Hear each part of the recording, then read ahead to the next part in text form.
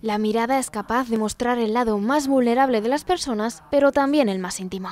Solo hay otro arte capaz de provocar este mismo efecto. Existen momentos en los que solo tenemos que dejarnos llevar y bailar. La importancia de sumergirnos en la lectura y la necesidad de dejarse llevar por el baile se refleja en Cuentos en papel, que se presentará en el Teatro del Mercado del 18 al 21 de marzo.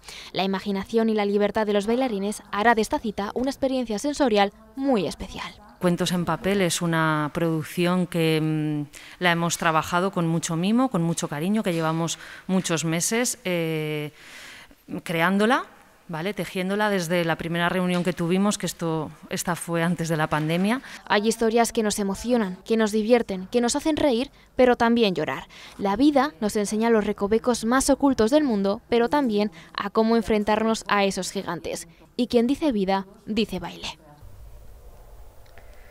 Tanto para profesionales como para no profesionales, el baile se convierte en un lenguaje y en una forma de expresión del alma. Pero cuando empiezas a moverte, ya no hay normas, no hay reglas. El baile se convierte en la mejor oportunidad para ser quien eres y para conocerte a la perfección. Así que no lo dudes, olvídate del que dirán, de cómo te vean y a bailar.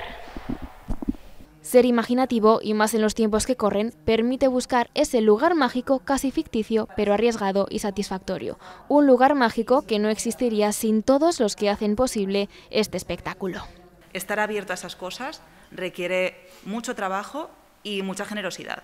Entonces, trabajar así es un lujo y es un placer cuando ves que alguien está tan abierto a escucharte con cuentos en papel no será necesario cerrar los ojos para que nuestras mentes consigan evadirse y sobre todo imaginar.